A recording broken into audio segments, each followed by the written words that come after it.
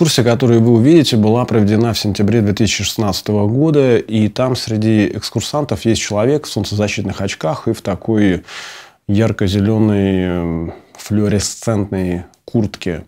Он там периодически что-то фотограф... фотографирует, э, и часть этих фотографий я даже использую по ходу пьесы. Это Иван Крючков. Он э, был музыкант, он был участником ансамбля имени Александрова, и он был на том самом самолете, который разбился. Собственно, вот я бы хотел обратить ваше внимание на эту деталь, потому что я там даже в определенный момент говорю, что вот среди нас есть человек, который окончил Гнесинку, поскольку мы мимо проходили, и он там фигурирует. Ну, просто вот так, чтобы почтить память э, человека, который делал очень достойные, клевые фотографии с моих экскурсий. И, э, в общем-то, был бы он сейчас жив, то, наверное, не менее клевые фотографии были бы из моих лекций. Ну, а теперь, собственно, непосредственно к маршруту. Это такая, в общем, типичная моя московская экскурсия за вычетом ну, переходов да, чтобы как-то сократить время повествования. Мы с вами находимся на площади Арбатских ворот. Я вам специально предварительно показал э, сравнительную карту-схему, что тут было и что тут стало. Да? Э, дело в том, что, э, ну, я на всякий случай, мало ли вы не в курсе, да, вот этого раньше не было. Здесь была э, Большая Молчановка. Большой Арбат, который изначально назывался Калининским проспектом, э, москвичи прозвали «Вставная челюсть Арбата». А вот эти вот э, высотки, которые стоят, их назвали Мишкиными книжками в честь э, главного архитектора Москвы Михаила Пасухина. Изначально на этом месте стояло аж две церкви. В честь одной из них поставлена вот эта вот мемориальная, не знаю, как назвать, стелла или что, да? Сейчас я достану свои картиночки. Здесь стояла церковь святых Бориса и Глеба. Я вам ее сейчас покажу. Выглядела она вот так. Вот она у меня есть в двух вариантах, да? Вот. Церковь святых Бориса и Глеба у Арбатских ворот. Она стояла не прямо вот на этом месте, это не совсем э, правильное местоположение этой стелы, она стояла чуть-чуть подальше. И где она конкретно стояла, становится понятным, ну, относительно понятным, да, если мы посмотрим, вот, например, вот на эту картинку, обратите внимание на довольно характерную башню Маслепрома за ней, то есть, если вы посмотрите туда и посмотрите на картинку, вы поймете, где эта церковь святых Бориса и Глеба находилась.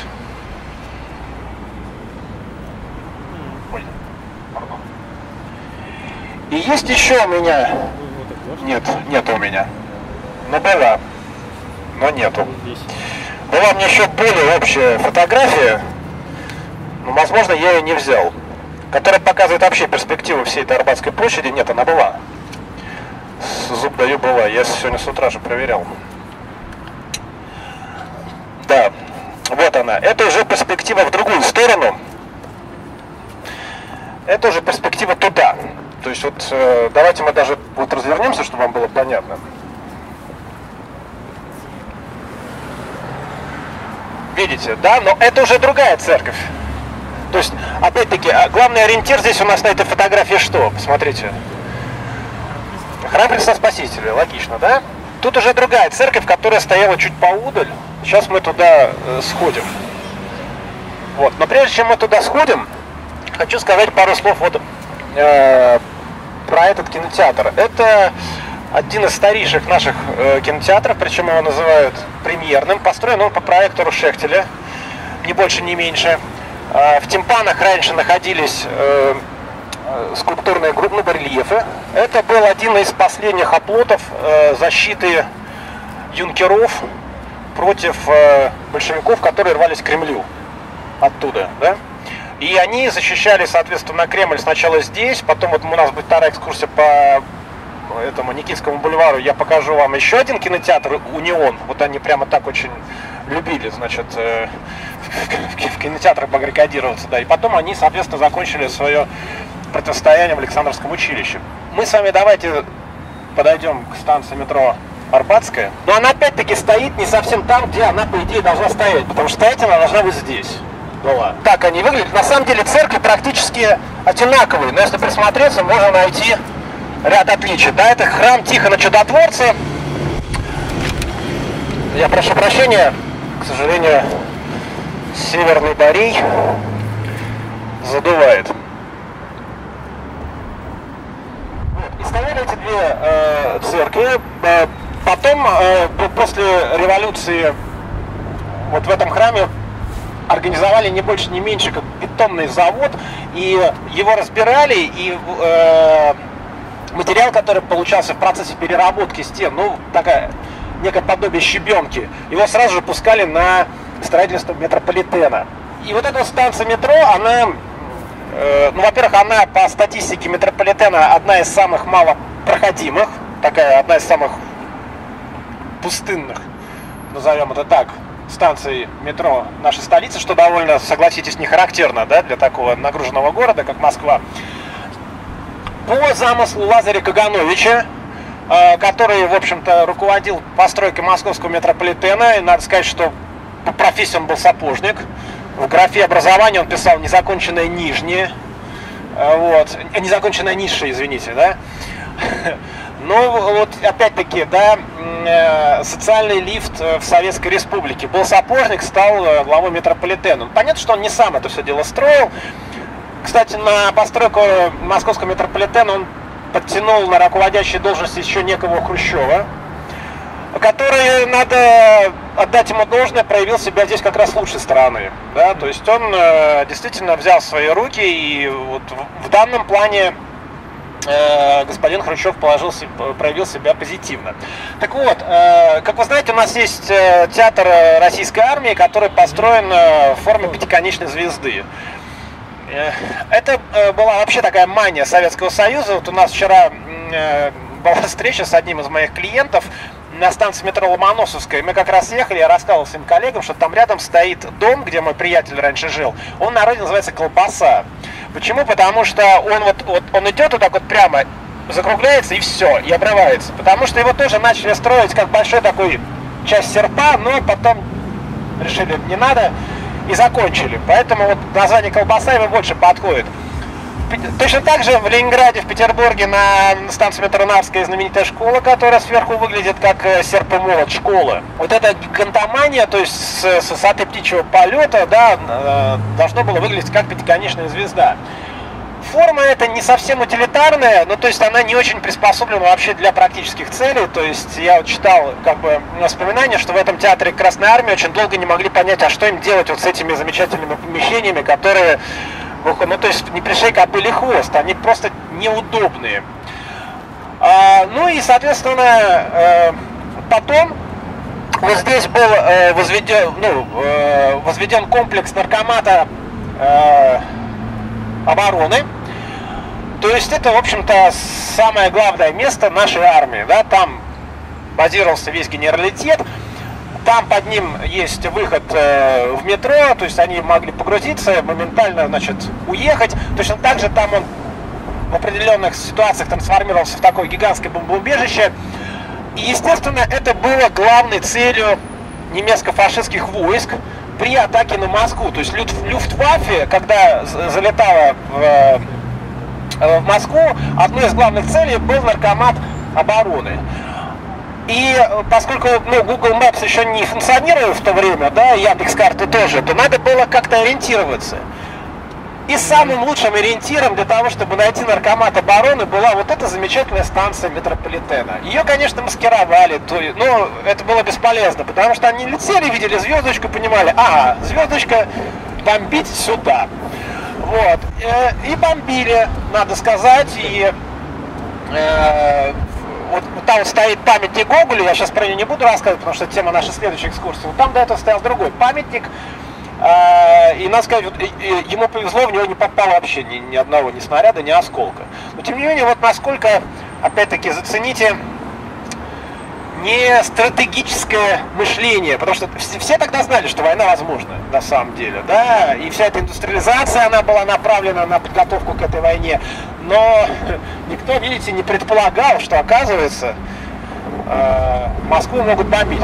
Теперь давайте мы с вами развернемся.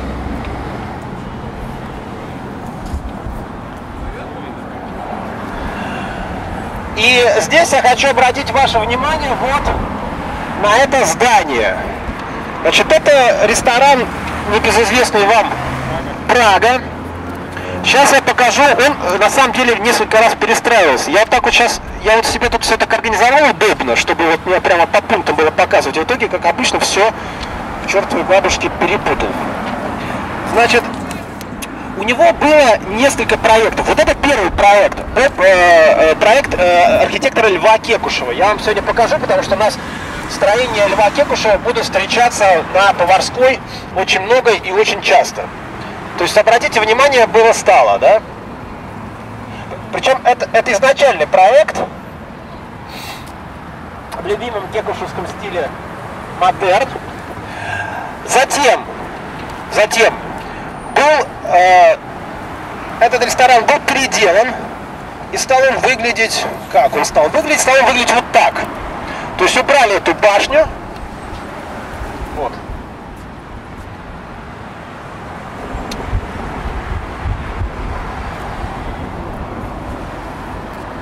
Ну а потом уже в советские годы его окончательно реконструировали, настроили еще один этаж. И ну вот получился такая помесь чего-то с чем-то. Значит, э, довольно интересная история этого ресторана. Э, его вообще выиграл, ну там по разным версиям, в карты, в бильярд, во что угодно. Значит, купец Татарыкин, звали его Петр Семенович. Работать в этом ресторане было настолько престижно и прибыльно официантам, что они, вы можете себе представить, они отдавали процент с чаевых Татарыкину. То есть вот насколько чаевые там были. И если отсюда официант по какой-то причине вылетал, ну, по разным, да, причинам, то он уже не мог устроиться никуда, ни в одно заведение Москвы. Потому что, ну, все знали. Гелеровский наш небезызвестный э, пишет, что здесь были лучшие растягаи. Да, э, в, у купца Татарыкина. Ну, а потом, соответственно, я извиняюсь, это наверняка кто-то, кто не может нас найти. После революции, естественно, как вы понимаете, у Петра Татарыкина не было никаких шансов продолжать э, то, чем он занимался. А, хотя потом была эпоха НЭПа, но Татарыкин уже не было. И здесь открыли столовую э, Моссельпрома, Московского сельского хозяйства. Значит, вот там вот у нас эта башня замечательная, а вот здесь столовая. Ну и э, один из главных копирайтеров вообще советского периода по фамилии Маяковский, мы будем говорить про такого персонажа на второй экскурсии, как Керженцев, который э, организовал вот эти окна роста и прочее, и привлекал ведущих поэтов для того, чтобы они рекламировали новорожденный советский строй. Что эти поэты с удовольствием сделали, потому что их еще за это немножко подкармливали. Здесь и в Доме печати, о котором мы поговорим позже. И Маяковский, одно из его гениальных произведений, звучит следующим образом. Значит, э, как там, господи. Здоровье, радость, высшее благо. В столовой Массельпрома, бывшая Прага, там весело, чисто, светло и уютно, обеды вкусны и пиво не мутно. Ну, то есть, как вы понимаете, э, людей, которые готовы были плясать под определенную дуду, причем на самом деле, я вам хочу сказать искренне, и они, они были всегда. И, в общем, Владимир Маяковский, он накатал огромное количество таких, он, э, как вы знаете, рекламировал главный универс... Э, этот, универмаг Москвы, да, и, и огромное количество у него было еще всевозможных продвиженческих таких историй. Сейчас мы с вами, значит, сейчас э, я вспомню, я просто рассказываю, а потом вспоминаю, блин, это не сказал, то не сказал, про Прагу я сказал, про церковь я вам сказал. Какие церкви здесь были? Ну-ка скажите мне. Бориса и Глеба. Бориса и Глеба и Святого Тихона. Вот они. Значит, Бориса и Глеба там стоит стела и прям изображение. То есть вы можете на самом деле достовериться. Часовня вот этого Тихона стоит здесь, но она стоит не, не здесь. Тогда мы можем с вами наконец переходить на Поварскую. Обратите внимание, вот, вот видите, э, идет Арбат, да, Новый Арбат, и вот эти дома, вот эти вот, несколько домов, они вот так вот, вот под углом стоят. Вот это реликт как раз московский, это начало вот этой улицы Молчановки, которая здесь была раньше, пока не прорубили вот это вот линию Арбата. А Поварская, Поварская, вот она оканчивалась вот там. То есть вот это опять-таки линия ресторана Праги, это конец улицы Поварской. Немножко, да? Понимаете, да? Вот здесь это очень хорошо видно. Пойдемте дальше. Меня уже опробированное место, удобная достаточно трибуна, чтобы вы все слышали и видели. Значит, это церковь Семена Столпника. На самом деле у Семена Столпника здесь один предел, вот без шарфика даже. Ну как так можно, а? У меня душа обливается.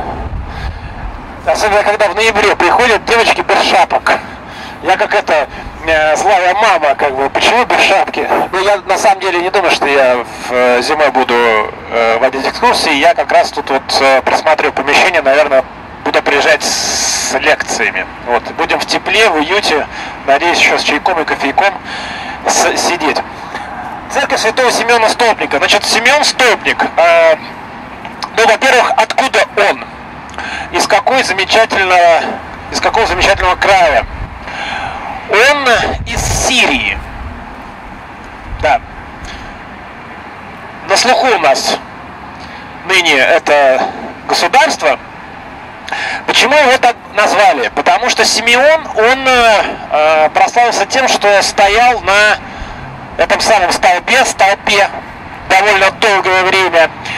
Э, большая, конечно, загадка, как там все происходило в его жизни, потому что, например, дьявол хотел его искусить, подослал ему колесницу с ангелами, они сказали, что типа шагай к нам, дорогой друг, и вознесешься на небеса. И он уже одной ногой вроде как ступил, но в последний момент понял, что это искус дьявола, и поставил эту ногу обратно. И потом, соответственно, в наказание самому себе на этой ноге стоял, по-моему, целый год. На одной ноге. Можете себе представить. Также он занимался э, самоистязанием, то есть он носил такие вериги, еще когда он был в монастыре, он связал из пальмовых, значит, э, как это называется, не могу сказать. Нет, не веток. Листья. Ну, на, на- да, наверное, из пальмовых листьев. В общем, что-то там из пальмы у него было. Такие жгуты, обтянул свое тело. И, в общем, э, появились у него раны. Раны стали источать не очень приятный запах. Братья начала жаловаться, но братья объяснили, что это подвиг. И э, тем же самым, собственно, занимался стоя на этом столбе. У него там даже заводились, простите за такую подробность, но это житие святого, у него там заводились черви, они падали на землю, и там у него был прислужник, добровольно, естественно, и он приказывал ему этих червей обратно ему таскать наверх и прикладывал их обратно к ранам. Ну, извините, ребята. В честь этого святого был освящен один из пределов данного храма. И он э, э, вошел в, э, не только в историю, но и в нашу литературу. Например, в поэме Евгений Онегин. Там есть такой пассаж, когда Татьяну привозят в Москву на выданье, значит, э, приходит ее, э, ее мамочка к, своему, к своей знакомой давней и говорит, кузина, помнишь Грандисона? Как Грандисон? Ах, Грандисон, в Москве живет у Симеона. Меня сочельник навестила, недавно сына он женил. Вот. э, ну и также по легенде в этой церкви венчался Шереметьев со своей крепостной Прасковьей Жемчуговой. Знаете эту душещипательную историю, да, что у него была крепостная, которую он воспитал в определенном духе, то есть она прекрасно говорила по-французски, прекрасно пела, в общем, была такая фактически рафинированная леди, если бы не ее, как тогда говорили, подлое происхождение. Да? Она была представительницей подлого сословия, поэтому ее не принимали. Они даже э, уезжали в Петербург из-за этого, ну и, соответственно, она рано умерла, что было для него большой трагедией. Венчались они здесь. И также здесь венчался у нас э, господин Победоносцев. Победоносцев потом стал обер-прокурором Святейшего Синода. Я вам хочу напомнить, что до революции патриарха у нас не было, а руководил не только Русской Православной Церковью, а вообще всеми религиозными делами страны, а, включая дела Магометан, как тогда говорили, иудеев, а, инославных, то есть имеется в виду лютеран, католиков и так далее. Обер-прокурор. Святейшего Синода, который был лицо сугубо гражданское. И господин Победоносов как раз был таковым, и он был а, после убийства Александра II правой рукой Александра III. А, его, его имя очень любили поливать помоями в советское время. Он тоже здесь венчался. После революции, естественно, храм закрыли, спилили кресты, и потом, когда прокладывали вот этот Калининский проспект, э, храм собирались снести. И есть такая история про э, одного архитектора-реставратора по фамилии Антропов, не Андропов, а Антропов. Он и до этого добивался того, чтобы эту церковь не сносили. И рассказывает, что когда сюда уже приехал эскаватор, работать он забрался в ковш этого эскаватора и сказал, я отсюда никуда не вылезу. Вот, и таким образом эту церковь, ну, не только, конечно, этим жестом, да, но тем не менее, эту церковь удалось отстоять. Восстановили ее уже, э, передали ее в 90-х годах прошлого века Русской Православной Церкви. И, в общем, сейчас это действующий храм, который воссоздан практически в первозданном виде. И слава Богу, потому что это такая достаточно э, заметная доминанта она присутствует в ряде художественных фильмов. Например, в фильме «Иван Васильевич меняет профессию» там есть погоня, где они едут и проезжают эту церковь. И недавно я делал пост у себя в группе ВКонтакте. Принципе, можно сейчас найти посмотреть, там по ленте скрутить вниз. Я смотрел тут недавно э, французский фильм, естественно, с русской темой. Он называется «Пля парфе», значит, идеальный план. И там действие происходит в Москве, там есть прекрасная сцена, когда они приезжают на троллейбусе, выходят на остановке, и бабах, фокус прямо на этот самый храм. Так что я вот когда буду делать очередной обзор про э, образ русских во французском кинематографе, там скопилось несколько фильмов, я обязательно этот кадр там покажу и, и, и расскажу. Вот. А мы с вами идем на улицу Поварскую. Как вы хотите, по низу или поверху? Поверху. Демократия невозможна. Пойдемте по низу. Так, а вот здесь, на углу с большой Молчановкой, вот здесь вот раньше стоял вот такой вот дом. Вот видите? Ой, простите. Он у меня есть еще в э, цветном, ой, варианте, ну как цветном, в серо-цветном. Значит, тут э, располагалась знаменитая московская гимназия, в которой учились такие люди, например, как Маяковский и э, Пастернак. Э, и вот эта школа, которая находится напротив, она является, ну, некой правоприемницей этой гимназии. Э, ее, например, закончил, я, к сожалению, не помню его фамилию, но это человек, который еще в советское время придумал игру Тетрис. Алексей Пожитнов. Вот, Алексей Пожитнов, точно. Сейчас он, э, как, к сожалению, многие его коллеги живет и работает, отгадайте где? Естественно. Там у него все хорошо. Вот, недавно он получил, кстати, э, премию в, вот, в, в этой геймерской индустрии. А учился, окончил он вот эту вот самую школу. Здесь у нас с вами два особняка. Про один мы скажем вкратце, про второй более подробно. Значит, вот этот особняк принадлежал раньше человеку, купцу, имя и фамилия которого находится, как вы понимаете, вот там. М.Г. Михаил Грачев. Значит, соответственно, вот эта усадьба называется э, усадьба Грачевых, сейчас там находится посольство Норвегии, они ее отреставрировали, и вообще э, посол Норвегии говорит, что если бы такое здание было бы в Норвегии, оно было бы, ну, в общем-то, на уровне Королевского дворца. А у нас это, в общем-то, такая, ну, я не могу сказать рядовая постройка, да, на Поварской улице, но не самая, скажем, э, знаменитая и заметная. Вот. Теперь давайте мы перейдем к следующей постройке.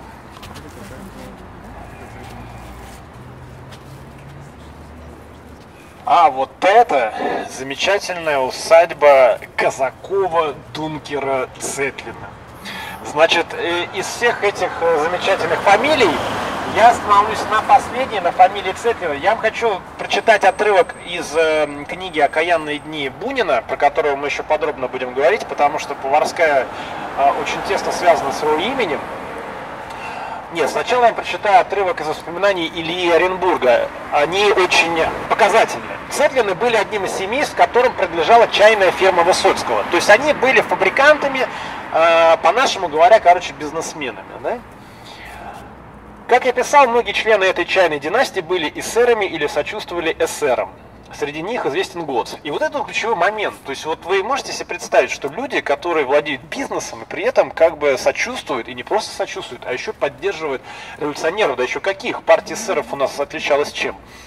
Террористической деятельностью. Она убила племя министра внутренних дел, она убила великого князя Сергея Александровича здесь, в Москве. До этого, соответственно, она убила предыдущего министра внутренних дел Сипягина. Ну, это так по поверхам, а по, по, по середняку я даже не буду говорить, там сколько всего было. Да? И это все партия социалистов-революционеров. Михаил Осипович Цетлин не принимал участие в подпольной работе, это был сын э, владельца этого дома. Он писал революционные стихи под псевдонимом Амари. А Мария это опять-таки французская аллегория такая А Мари. То есть Мария это было имя его жены. Соответственно, А Мари по-французски это Марии. А это предлог. А Мари. Это был тщедушный хромой человек, утомленный неустанными денежными просьбами. Жена его была куда более деловой. Кроме Волошина, у Цеплиных бывали художники Диего Ривера, Ларионов, Гончаров. Бывал и Борис Савенков. Борис Савенков – это глава боевой организации эсеров, который потом э, возомнил себя литератором и написал, ну, в общем, э, надо сказать, может быть, и неплохие произведения. «Конь бледный» и «Конь, по-моему, вороной», я не помню, как назывались.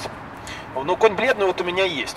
Сейчас я хочу остановиться на Цетлиних. Они иногда звали меня в гости, у них были горки со старинным фарфором, гравюрой. Я мечтал о том, когда же рухнет мир лжи. И мир лжи, как вы знаете, в 1917 году рухнул. А вместе с ним, собственно, и усадьба этих Цетлиных. Я скажу потом, что здесь было, когда мир лжи рухнул. И вот мне еще, ну, тут пишет про что тут было, э, значит, э, Цветами приходила, приходил Бальмот, Маяковский, Велимир Хлебников. Вот только Осип Эмильевич Мандельштам несколько озадачивал хозяина. Приходя, всякий раз говорил, простите, я забыл дома бумажник, а у подъезда ждет извозчик. Ну, то есть это вы приезжаете в гости и говорите, вы знаете, я вот вызвал такси, а, а деньги дома забыл. Вот как бы такая, не знаю, что делать прямо. Вот. Ну, понятно, что как бы Цетлины знали, что делать, и, в общем, каждый раз э, Мандельштам приезжал сюда на халяву, тут на халяву ел и пил. Но это нормально было, потому что он был поэт, это все все принимали. Ну, какие деньги у поэта, собственно. И дальше, а вот Бунин пишет перед этим, да? Где у меня Бунин? Вот у меня Бунин. Великолепные дома возле нас реквизируются один за другим. Из них вывозят а, а, какую-то мебель, ковры, картины, цветы, растения. Нынче весь день стояла на вазу возле подъезда большая пальма вся мокрая от дождя и снега, глубоко несчастная. И все привозят, внедряют в эти дома долженствующие быть какими-то правительственными учреждениями, мебель, новую конторскую. Особняк Цетлиных на Поварской занят анархистами. Над подъездом черная вывеска с белыми буквами. Внутри всюду освещено великолепные матовые люстры за гординами. И вот опять-таки, значит, Иренбург пишет. «Э, Дом Цетлина на Поварской захватили анархисты во главе с неким Львом Черным. Цетлины надеялись, что большевики выгонят анархистов и вернут дом владельцам. Анархистов действительно выгнали.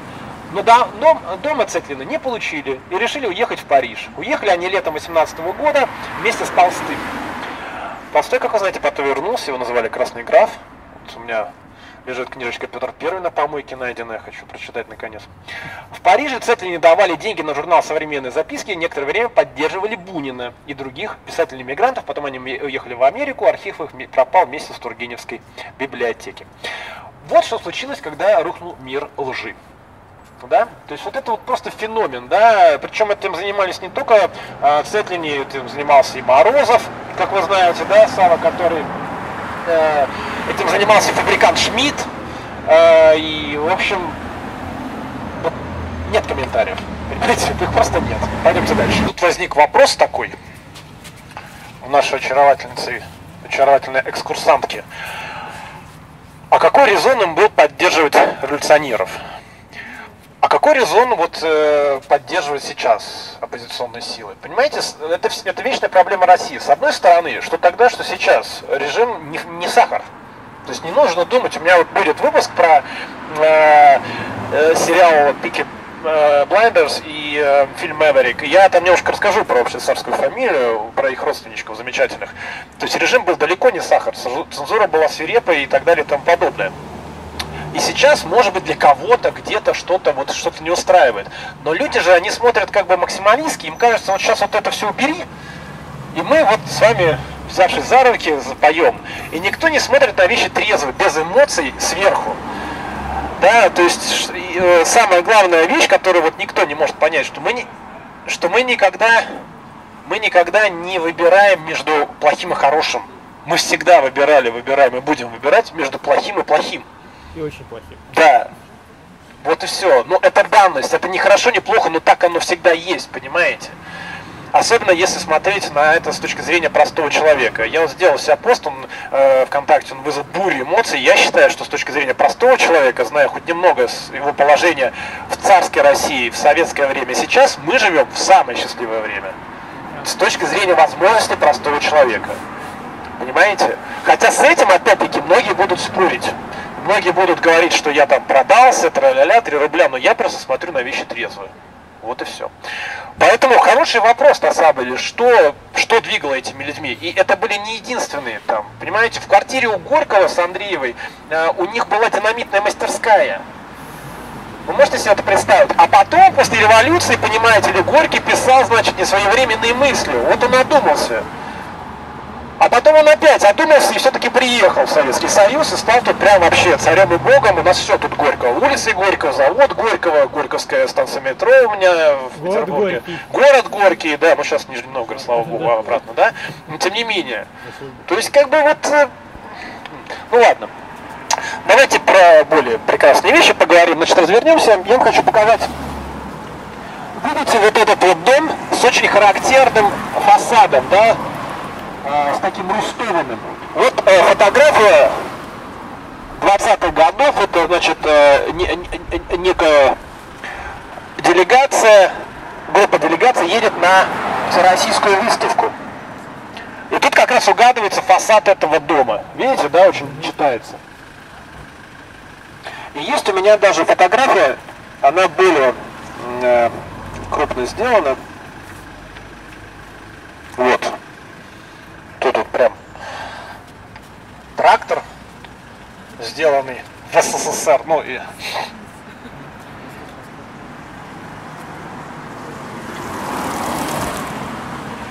А вообще это доходный дом Кальмейера. Кальмейер был адвокатом. Вот так у нас ужасно жили адвокаты до революции, что могли себе позволить вот этот дом. Сейчас один, ну, один из самых дорогих домов. Здесь много кто жил. Здесь, например, жил замечательный актер Кайдановский. Если вы смотрели Тарковского, особенно его «Сталкер», то вы знаете, о чем идет речь. Э, Это фильм, который можно пересматривать вообще вечно. А, ну и, конечно же, здесь был, жил Борис Березовский. Что уже говорит о э, статусе данного э, помещения. Вот. Мы с вами давайте зайдем вот сюда.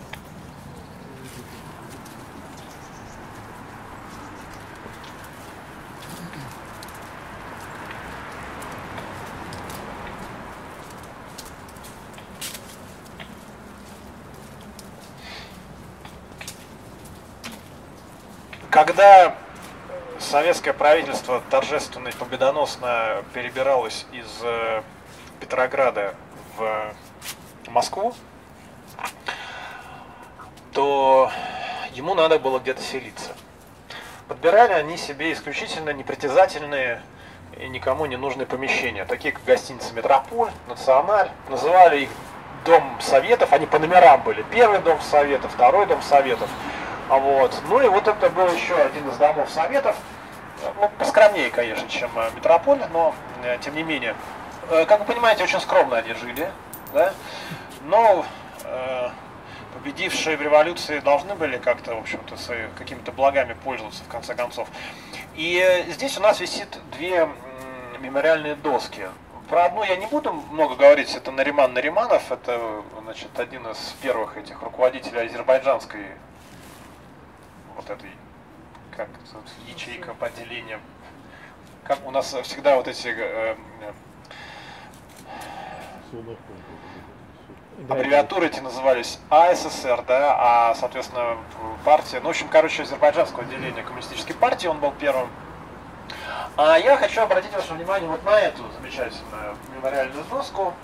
э, которая гласит о том, что здесь жил Леонид Борисович Красин. Это, конечно, один из самых, ну вот, э, без иронии сказать, потрясающих деятелей революции. Э, это, э, ну, начать с того, что это был один из главных конкурентов Ленина, тогда, когда еще Ленина никто не знал, ну, я имею в виду массово. На этой теме они, собственно, с ним рассорились. И была, проблема была в том, что у Ленина были одни теории и никаких возможностей. А у Красина как раз была масса возможностей. Дело в том, что он был довольно успешный инженер. Сейчас, особенно в советское время, на слово инженер, знаете, получил такую коннотацию какого-то нищего технического работника. До революции инженер и вообще до революции высшее образование техническое э, гарантированно обеспечивало вам нормальную, ну если вы не идиот, как бы, да, клинический, нормальную, э, хорошую жизнь. А если у вас есть еще способности, то вы, соответственно, инженеры, там точно так же они, ну, могли там себе и дома заводить и прочее. Так вот этот господин Красин, он почему, почему еще Нариманов-то? Потому что он, во-первых, э, заведовал э, разработками еще в царское время нефть, нефтяных э, вот этих буровых скважин в, в Азербайджане. И также он был одним из главных инженеров, например, в, в, Петро, в Петербурге, извините, завода Siemens Stuttgart. Это то, что потом стало электросилой. И параллельно он занимался террористической деятельностью. Он курировал, соответственно, изготовление бомб. Да, он э, там, например, посылал людей в, э, в, эту, в Македонию, были такие специальные македонские бомбы, они назывались, да, их здесь изготовляли в Москве и в Петербурге. И ими он снабжал э, коллег по цеху тех же самых эсеров. Например, знаменитое покушение на Петра Аркадьевича Столыпина на Аптекарском острове, когда пришли, взорвали просто тупо его дачу. И, э, значит, вот дочь его стала инвалидом, э, после чего э, Столыпин, как вы знаете, не очень возлюбил революционеров и ввел вообще довольно жесткую систему, вследствие которой революция фактически была подавлена. Да? Там, конечно, и невинных пострадало достаточное количество, но тем не менее. Так вот, отсюда этот столыпинский галстук, да, и прочее. А, так вот, бомбы эти были изготовлены в товарища Красина. Но они с Лениным разошлись по определенным э, причинам, причем не, не только идеологическим, надо сказать. Но после революции, после революции у большевиков была существенная проблема. Но вы поймите, как бы невозможно все начинать с чистого листа. Да, нужна все, нужна идеология нормальная, нужна кадры. Так вот, нужны были профессиональные кадры. Если с э, армией еще как-то более-менее было терпимо, многие шли в Красную Армию, потому что опять-таки была возможность социального лифта. Вот то вот в, техническом, э, в технической среде очень было сложно. И тогда, когда подключился к этому делу Леонид Красин, он обладал таким авторитетом в этом кругу, что через него большевикам пришло огромное количество технических специалистов. То есть он их привел, он сказал, ребята, ну да, большевики, бла-бла-бла, но все будет нормально, я вам обещаю.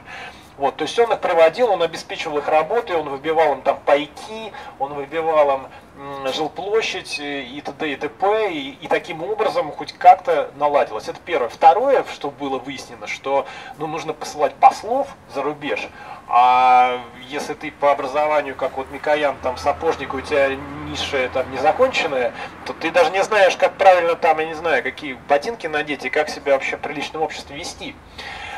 Это тоже была существенная проблема. У Красина с этим было все нормально. Поэтому он был, например, послом в Лондоне у нас, ни больше, ни меньше. Ну, умер он, я не помню, к сожалению, но, по-моему, это что-то ужасно. То ли от рака, то ли от чего-то. В общем, вот еще один пример человека, который на самом деле, если хотел бы до революции, сделал бы нормальную карьеру себе. Тихомирную. Но у него вот были какие-то свои мотивы, понимаете? Может быть, вот наполеоновские какие-то комплексы, может быть, еще что-то. Что он параллельно с коммерческой успешной деятельностью занимался вот такими делами. И вот, соответственно, когда он приехал из э, Ленинграда, ну, еще не Ленинграда, извините, из Петрограда в Москву, вот он поселился здесь, собственно, аж по 1900, э, сколько там получается, 7 лет он тут прожил. Видите, балкон над балконом герб. Это герб, э, значит, э, графини Милорадович. Э, этот дом, этим домом владели две аристократки, графиня Милорадович и княгиня Мещерская. Так вот, с этим домом связана замечательная в кавычках история. Дело в том, что у княгини Мещерской, у нее была коллекция картин, среди которых находилась э, Тонда, приписываемая кисти Боттичелли. У нее находилась картина, которая приписывалась кисти Боттичелли, и э, сразу после революции к ней наведался посол Германии и предложил, ну, во-первых, он предложил ей вывести ее саму, а во-вторых, он предложил ей продать у нее оставшиеся картины, в том числе вот эту вот картину Боттичелли. У нее была дочь, которую она называла э, Китти, да, и в как, э, информация о том, что княгиня Мещерская собирается продать картину, всплыла в ЧК. Сюда приходили с обыском, ничего не нашли. Ее вызвали непосредственно к Феликсу Дзержинскому. Он ей сказал, вы правда, что вас навещал значит, немецкий посол? Она сказала, правда. И тогда он ей пообещал, что если она отдаст картину, с ней ничего не случится, она поставила условие, чтобы эта картина, значит, тоже осталась в России обязательно. И написала знаменитую записку, которую вместе с чекистами передали ее дочери. Кити, отдай Боттичелли. И вот они с этой, значит, запиской пришли сюда, и вы никогда не догадаетесь, где она спрятала в квартире эту картину. В портьере. Это, это, да, этот хост был заш, зашит в портьеру. Они на самом деле боялись не столько чекистов, они боялись как раз таки анархистов, которые приходили и забирали все подряд. В основном все, что в основном, в основном то, что блестело, конечно же, да, но могли и на это позариться. Поэтому вот так вот, вот эта картина ей осталась. Я читал воспоминания дочери, э, на самом деле совершенно потрясающие были люди. Они потом поехали работать в какую-то фабричную столовую. Там эта княгиня э, шифровала, что она не княгиня. Она устроилась в столовую э, поварихой, обеды сразу улучшились, потому что она не воровала продукты. Понимаете? Э, люди это очень оценили. Потом как-то кто-то уговорил ее где-то там спеть на, спеть на каком-то, значит, концерте, она спела так, что там все офигели, никто не знал, что это княгиня. В общем, там целая история приключений, но они несли этот крест, то есть они считали, что они отдают долг вот как раз эксплуататорского класса, да, что значит они это заслужили. Вот, пойдемте дальше. Ну, э, э, соответственно, вот так выглядела эта картина как выглядит? Она сейчас выглядит, она так. Она висит э, в Государственном музее имени... В Государственном изобразительном музее имени Пушкина на Волхонке. Любой из вас может пойти на нее посмотреть в натуральную величину. А вот это вот строение, одно из первых строений, построено в Москве в стиле модерн, построено нашим замечательным архитектором любим, Львом Кекушевым. И я специально взял картинки, где изображен, во-первых, сам Лев Кекушев, во-вторых, еще кое- кое-какие его дома. Вот этот вот Лев Кекушев. У нас сегодня еще будет встречаться ряд его построек.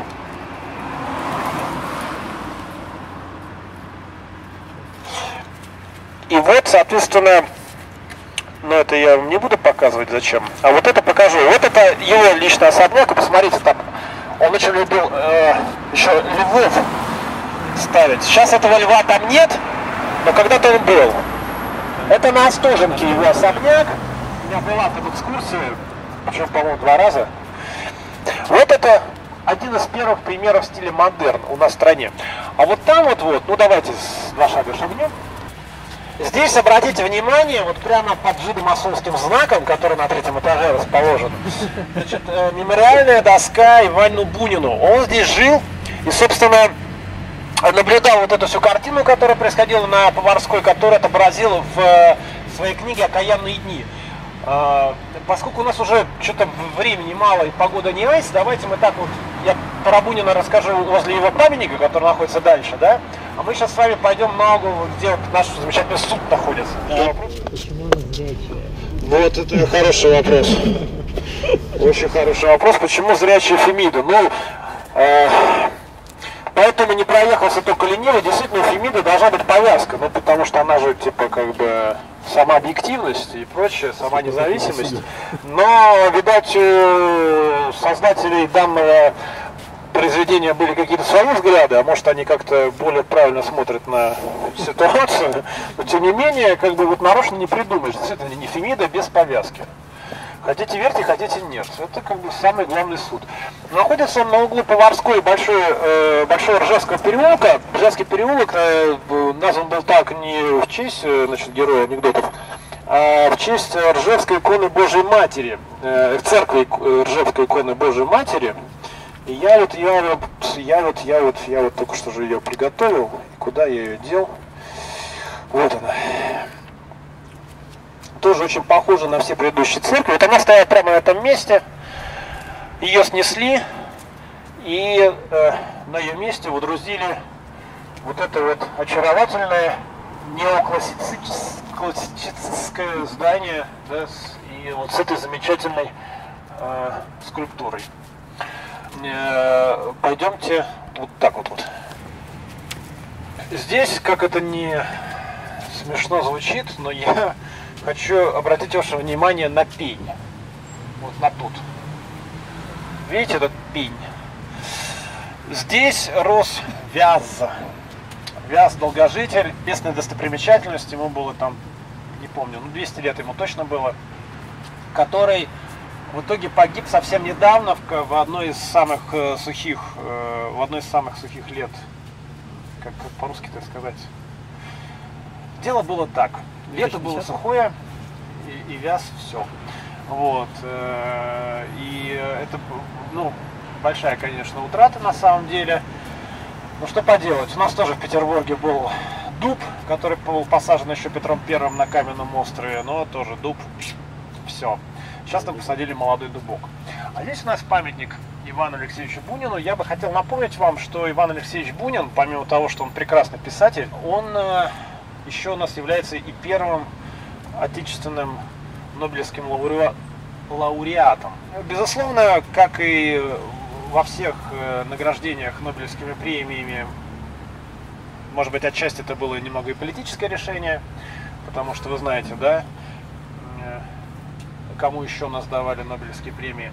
Но тем не менее, эта Нобелевская премия пришлась очень кстати, потому что он был уже в эмиграции, денег не было. А, тем не менее, эту Нобелевскую премию он растранжирил очень быстро, потому что, во-первых, у него было огромное количество долгов, а во-вторых, он помогал еще своим коллегам писателям. Иван Бунин это, ну, наверное, одна из э,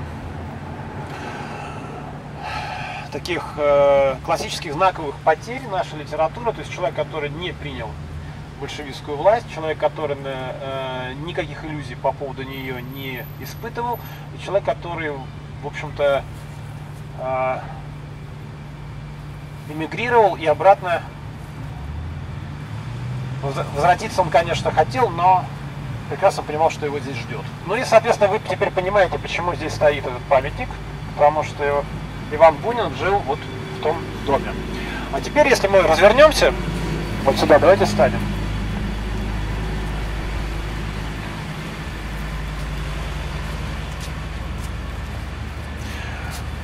Это у нас училище Гнесиных, известное, знаменитое.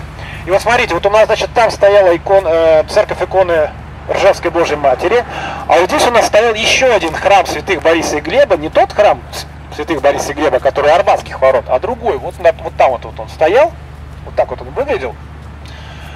И, в общем-то, он даже нам сейчас пригодится чуть-чуть в дальнейшем, когда я вам расскажу еще про одно замечательное событие. Пойдемте дальше. Это усадьба Гагариных. Князь Гагарин заведовал конюшенным ведомством. А, и именно поэтому, вот если вы посмотрите туда, видите, там э, такое строение вытянутое во, двор, во двор. Ну, можете шагнуть, господи, посмотреть. Видите оно?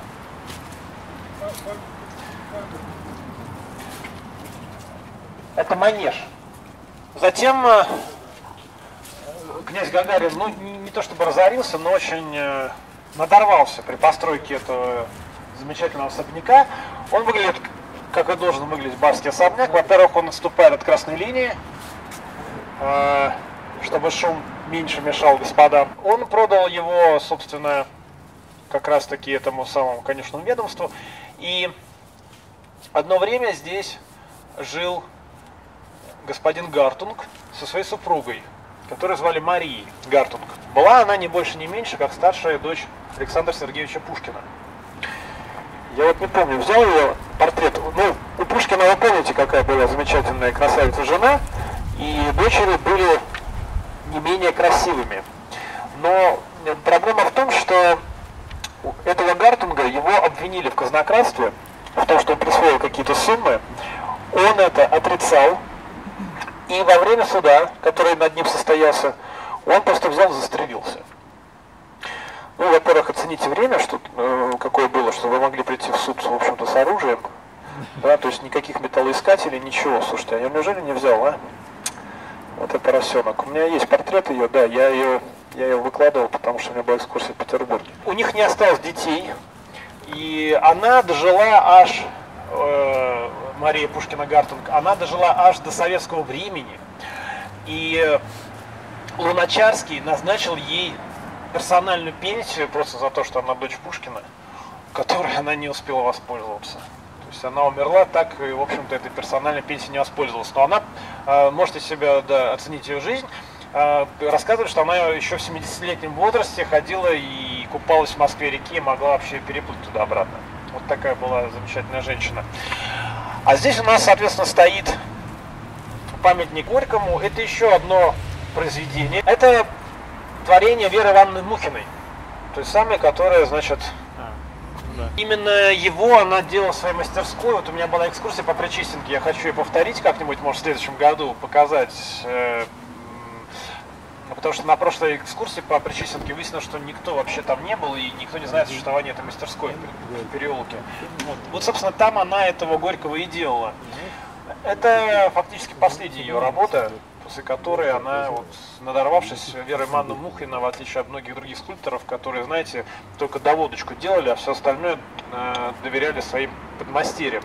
Она сама, честно, с кувалдой, это, знаете ли, вам не это, не мышкой щелкать по, по коврику, да, то есть, э, вот, ну и э, у нее была болезнь сердца, порог сердца из-за этого, и вот, собственно, она скончалась. Сейчас это, собственно, Институт мировой литературы, где, вы не поверите, вообще, по идее, учат на писателей. Да, то есть вот вы как бы можете окончить, станьте дипломированным писателем, можете, не знаю, наверное, трудоустроиться, с этим дипломом прийти и сказать, вы знаете, я писатель. Вот, он сказал, ой, как замечательно, нам как раз нужен вот шоколадница. Поэтому вот, пойдемте дальше. Здесь у нас дом. А, ну, на этой мемориальной доске это не отмечено, но тем не менее. Здесь находилась квартира одного из приятелей Пушкина Киселева. Их роднило не, только, не только приятельские отношения, они вместе ухаживали за двумя сестрами Ушаковой, Ушаковыми. Киселев за старший, Пушкин за младший. Ну, у Пушкина там не очень получилось, а у Киселева получилось. И он обвенчался с этой Ушаковой как раз-таки в той самой церкви Святого Бориса и Глеба, которая стояла раньше на э, месте значит, э, Гнесинской школы. У нас, кстати, вот товарищ фотограф окончил Академию Гнесиных. Вот э, прошу любить и жаловать. Видите, какие замечательные люди ходят к нам на экскурсию. Соответственно, и э, в квартире этого Киселева Пушкин в Москве первый раз читал поэму Полтава. О чем, собственно, вот здесь вы можете прочитать. А теперь, если мы развернемся на другую сторону, мы увидим с вами совершенно потрясающую историю. Но вам надо еще напрячься минут на 15. Да, у нас сегодня такая длинная получилась экскурсия. А, вот эти два дома, этот и тот, они оба построены тоже, тоже Львом Кекушевым. Но если вы посмотрите, они очень сильно отличаются. Если тот, мы к нему подойдем, рассмотрим более внимательно.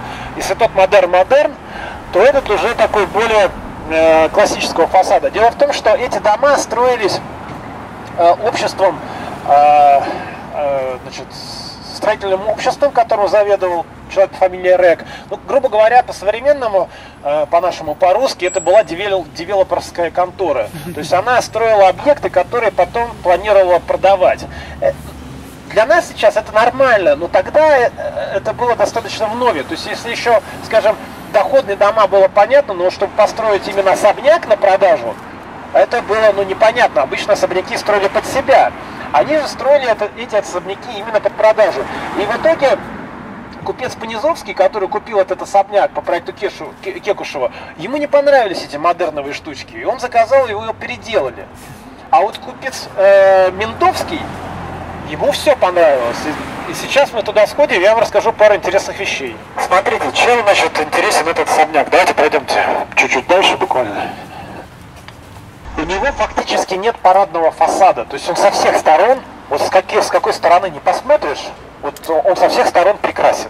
Да, то есть, ну, грубо говоря, всегда у, у, у дворцов там есть какая-то лицевая часть, да, и, и тыл. Ну, естественно, к жилому помещению прилагался, прилагалась конюшня, вот тут специально для милиционеров даже а, атрибутирована, которая волшебным движением руки мастера превратилась из, превращалась из конюшни в гараж потому что это уже было начало 20 века, автомобили уже существовали. Но есть тут еще одна потрясающая деталь, для того, чтобы ее видеть, вам надо шагнуть сюда.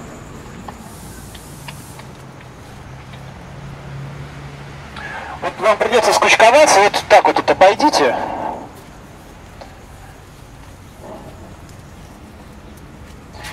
Вот посмотрите, вот там вот на таком псевдофронтоне, там видите герб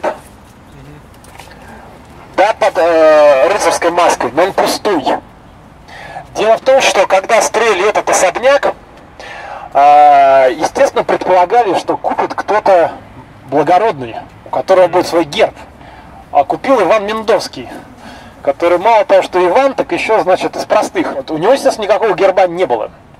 Соответственно, вот этот герб так пустым остался. То есть, если мы на э, доме графини Милорадович видели, значит, э, э, графский герб, то вот, вот, пожалуйста, пример э, герба пустого, который никогда не был заполнен, и вот так вот, вот он... Э, я удивляюсь еще, что и этот Иван Мендовский не стал его демонтировать, потому что, ну, довольно интересно это выглядит. Вот, пойдемте дальше. Значит, мы с вами уже видели отсутствующую церковь Э, икона Ржевской Божьей Матери. Мы с вами видели отсутствующую церковь святых Бориса и Глеба. И вот он, пожалуйста, вот, этот вот, э, вот это строение в, в таком конструктивистском стиле, это бывший дом политка Торжан. Э, оно было построено на месте вот этой вот замечательной церкви, которая называлась Церковь Рождества в, в, в Кудрово.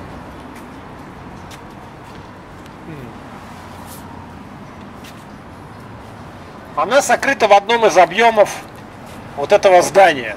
То есть вот так вот тут церковь превращается волшебным движением э, да, э, руки церковь Рождества Христова в Кудрово вот в это здание. Ну, как вы знаете, э, все эти общества политика Торжан, они просуществовали недолго, потому что их довольно быстро свернули, потому что эти вот изначальные коммунисты-большевики, да, самые первые, они очень быстро смекнули, что что-то партия рулит не туда, за что она боролась, ну и их быстренько э, приткнули. И потом здесь э, возник э, театр, э, господи, как он называется-то? Кино... Театр киноактера, да. То есть тут э, в театре играли именно киноактеры. Э, мы с вами разворачиваемся Мы видим, кстати, на этот раз уже теперь княжеский герб. Он пустой, но он пустой не потому, что здесь не было этого княжеского герба, его просто затерли в советское время. Последним владельцем была княгиня Алсуфьева. Сейчас, ну, в советское время здесь располагался центральный дом литераторов, ЦДЛ. Это было одно из самых таких престижных, привилегированных э, заведений с рестораном, потому что туда был вход только по корочкам эта вот советская тема, да, то есть вы член Союза писателей, неважно, был там Союз писателей, Союз архитекторов, Союз э, музыкальных деятелей, и у них у всех были некие такие э, точки сбора. В этих точках сбора, как правило, были рестораны, в этих ресторанах вкусно кормили, наливали то, и, в общем, давали все то, чего не давали в других местах. Например, на Большой Морской, там был у нас центральный дом архитектора, там готовили такое мясо по-архитекторски свинину с сыром. То есть нигде его больше не готовили, да. И очень мне понравилась история про, ну, понятно, что писатели зажигают все как только могут. Uh, у нас был, ну, сюда все сходили и актеры, Сюда, кстати, к этой самой княгине Алсуфии по легенде приезжал Александр Третий, чуть не навернулся там на лестнице э, с, с, э, значит, с добрыми словами. Потом сюда приезжал еще Рейган.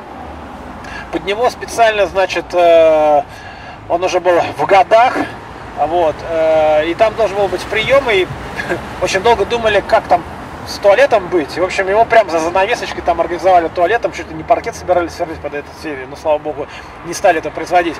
И э, актер, э, здесь же, помимо прочего, ну, не только там справляли, но и провожали в последний путь знаменитых писателей, и ставили прямо гроб, вот, и актер Моргунов с кем-то э, подвыпив, он поспорил, что он сейчас пойдет в этот гроб и ляжет. Вот, они поспорили, он пошел, лег и там и, и заснул. Ну, то, что было это. Вот, пришли родственники, увидели это дело, вообще был скандал, Моргунов исключили, значит, запретили ему там приходить, я не помню, там на год или на три. Ну, в общем, вот они вот так вот там э, зажигали. И э, во время сухого закона, в, в Горбачевское время, да, когда якобы нигде не пили, то у них там был, соответственно, как раз вот в детской этой княгине Алсуфьевой, там у них был самый главный какой-то там партийная там что-то ячейка, вот в этой они приходили, в этой партийной ячейке, значит, они там выходили, значит, закусывали, ну и плюс, естественно, им приносили потом там в чайничках там, ну, как это у нас обычно делается. Соответственно, вот это вот ЦДЛ. А вот это вот желтое здание, ну, сначала, давайте не про желтое здание, сначала про этого замечательного человека. Так, ну это папа двух режиссеров да, как вы знаете. Они просто от разных мам, но от одного папы. А, и он жил вот в этом доме. Вот в этом самом доме. Ну и я думаю, что про него мне вам не надо ничего рассказывать. Да, это редкий случай, когда представители именно дворянской фамилии уцелели в советское время, да не просто уцелели, а в общем-то у него было все хорошо. Да, то есть, во-первых, все эти детские стихи, там дядя Степа и так далее. Но, во-вторых, самое главное произведение его гимн. жизни это гимн Советского Союза. Есть, знаете, не, не, не бухт нет. Не каждый поэт вам этим прославится. Соответственно, здесь у него был установлен памятник, есть фотография, Путин присутствовал на открытии этого памятника, где он возлагает цветочки ему, да, то есть все нормально. Ну и нас осталась последняя точка, я думаю, что надо перейти дорогу, и там мы почти закончим. Но, а вот это у нас вот просто усадьба-усадьба, да. А, последний, кому она принадлежала, была семья Батыш-Каменских, и мы с вами, смотрите, мы с вами видели уже графский герб, мы с вами видели пустой герб, мы с вами видели княжеский герб, а вот это баронский герб. То есть вот вам поварская прямо вот э, все гербы, какие только могут быть. Э, и до сих пор борются две э, истории. Одни считают, что это именно дом Наташи Ростовой, да, что именно этот дом на Поварской имел в виду Лев Николаевич Толстой, когда все это дело описывал. Другие считают, что нет. Но э, я вот смотрел э, замечательную передачу облюбования Москвы, э, где к своему стыду я все никак не могу запомнить фамилию этого прекрасного человека. Он совершенно потрясающий москвовед. Э, на России он эти выпуски делает. Он, в общем-то, говорит, что, скорее всего, это все-таки дом Наташи Ростовой. И перед этим домом установлен э, памятник Льву Николаевичу Толстому. Именно по этой теме. Но он характерен другими вещами. Он, поста он поставлен сюда а в год 300-летия воссоединения, прости господи, Украины с Россией. И это некий дар украинских писателей нам. Вот такой, в общем-то, на, в наше нелегкое время, неоднозначное, довольно знаковый памятник.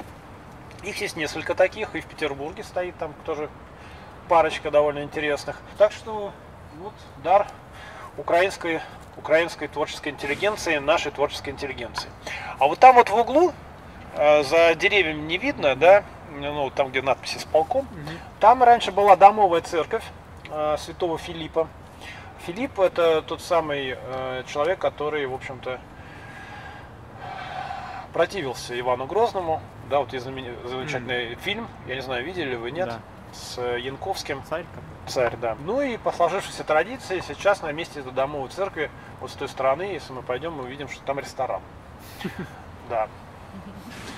Ну, бывает. Так, подводя черту, значит, контрольный выстрел вам в мозг. А, итак, мы начали с вами с того, что я вам показал Арбатскую площадь. На этой Арбатской площади мы с вами увидели, что там стояло две церкви. Да? Святого Тихона, чудотворца Тихона, и церковь э, святых Бориса и Глеба. Э, там сейчас стоит стела, которая обозначает, ну, якобы то место, где стояла церковь Бориса и Глеба. Она чуть-чуть, на самом деле, была сдвинута. Ну, неважно. Затем мы с вами видели пятиконечную, значит, станцию метро. Арбатскую я вам рассказывал про замечательную, в кавычках, историю из э, Великой Отечественной войны. Потом, значит, ресторан Прага, да, Татарыкин купец и Маяковский писал про это дело стихи, потом столовую Моси, господи, Моссельпрома. Церковь Семен Столпников в самом начале Арбатской. На углу с Молчановкой там гимназия была мужская, где учился Маяковский и Пастернак напротив школа, правоприемница этой гимназии. Дальше у нас было два особняка. Значит, э, один Цетлиных, второй Грачевых. Затем дом Масса, ну, все, все, все, все, все, ну надо, надо, надо, надо. Затем дом, значит, соответственно, где жил Леонид Борисович Красин. Напротив дом княгини Мещерской и, э, значит, графини Милорадович. Дальше дом, в котором жил Иван Бунин, Напротив него э, здание суда, где раньше стояла церковь, значит, Ржевской иконы Божьей Матери, отсюда Ржевский переулок. Дальше напротив целый комплекс, значит, Гнесинки.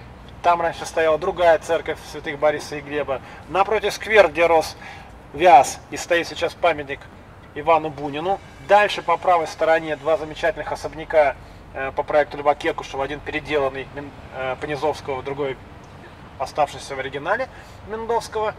Вот. Э, затем усадьба Гагариных, где стоит памятник Горькому, где нынче, значит, литературный институт. Потом бывший дом политкоторжан на месте церкви Рождества Христова в Кудрово. И вот этот вот э, дом, ну, будем считать, Наташи Ростовой. Краткое содержание предыдущих серий. Я надеюсь, как-то это все осело. Спасибо. В следующие выходные состоится заключительный блок э, романов без соплей, весенний блок. Я его продолжу уже осенью. Мы поговорим про великого князя Сергея Александровича и его младшего брата, великого князя Алексея Александровича. Гей Сергей, князь Цусимский, можно их так назвать. И, собственно, про их как бы хорошие и не очень хорошие стороны, и пойдет речь. В субботу, по традиции, в 2 часа дня на Кутузовском 24 в библиотеке имени Толстого, в воскресенье в 16.00 на Гончарной 23 в Сургут баре. И я хочу сказать, что в марте, скорее всего, лекции в Москве уже, наверное, либо не будет, либо будет в гораздо меньшем количестве. В Петербурге, возможно, я буду их продолжать. Следите за анонсами э, в моей группе ВКонтакте. Все ссылки есть в описании под этим выпуском.